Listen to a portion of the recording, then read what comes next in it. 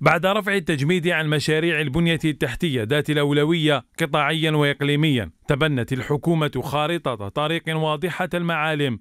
هدفها رفع جودة حياة المواطن تحديث الطرقات وإعادة تأهيل المطارات وإنشاء المرافق السياحية.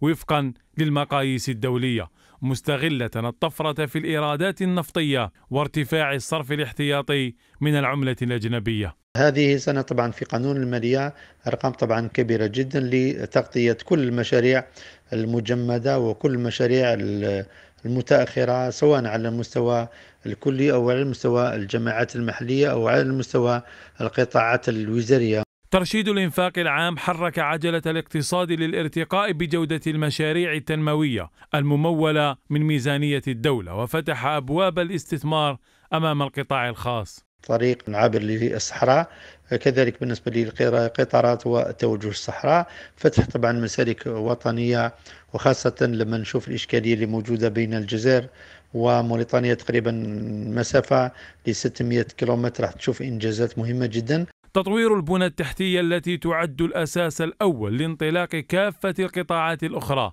من بينها قطاع السياحة الذي يعد أحد البدائل الفعالة لقطاع المحروقات.